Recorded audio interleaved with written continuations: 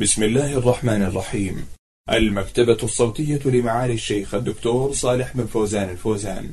حلقات تبث في إذاعة القرآن الكريم. دروس في الحج.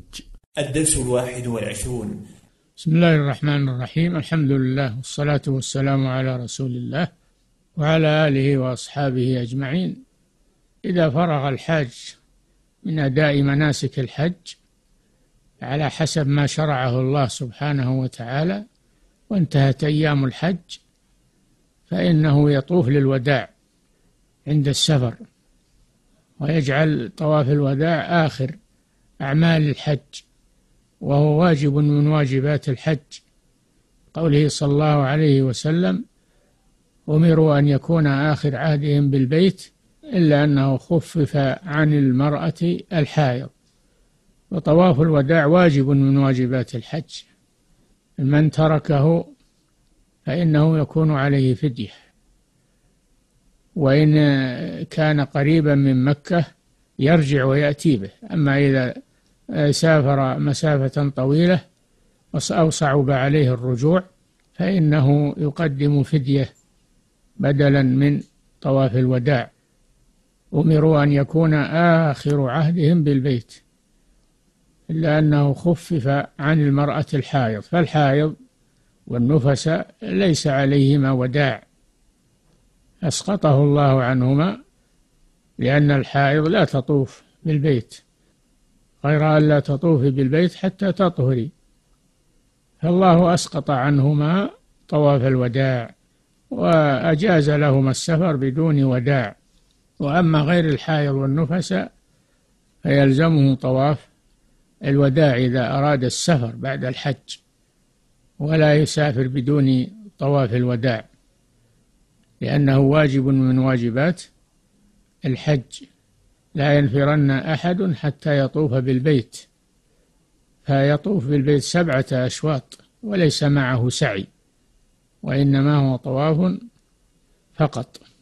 ثم يسافر إلى إلى بلده وعليه تقوى التزام بتقوى الله وطاعة الله بعد الحج وإذا وصل إلى أهله وبلده أن يكون ملازما لطاعة الله محافظا على دينه ولا يتساهل لأن بعض الجهال يتساهل بعد ما يحج يقول الحج يكفر ما قبله فيترك الأعمال والواجبات والفرائض ويقول أنا حاج ويسمى يلقب بالحاج.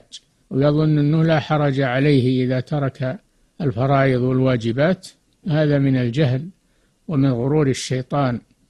فالحاج أولى أن يلتزم بطاعة الله في بقية حياته ولا يفرط في طاعة الله قد يبطل حجه إذا فعل أمرا يخرجه من دين الإسلام كترك الصلاة متعمدا الصلاة المفروضة متعمدا إذا تركها فإنه يبطل حجه ويبطل دينه كله.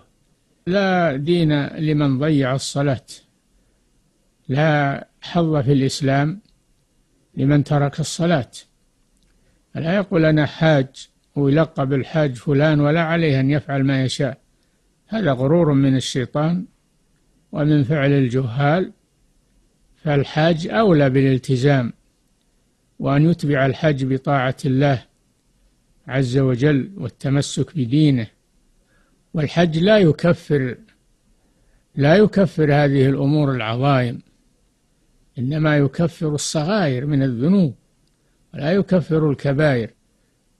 إن تجتنبوا كبائر ما تنهون عنه نكفر عنكم سيئاتكم لا بد من اجتناب الكبائر والتكفير إنما هو للصغائر لمن حافظ على الفرائض والواجبات.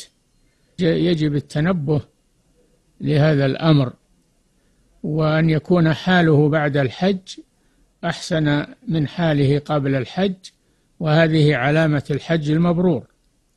الحج المبرور أن يكون حال صاحبه بعده أحسن من حاله قبله.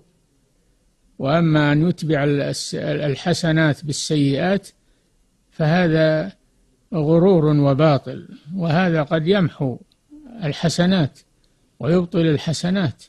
فلا يغتر الإنسان بقول الجهال فلان حج الحاج فلان. ولا عليه أن يترك الصلاة ولا عليه أن يفعل المحرمات. ويقول هذه مغفورة. هذا من الجهل والغرور. فعلى المسلم أن يتنبه لهذا. والله الموفق والهادي إلى سواء السبيل.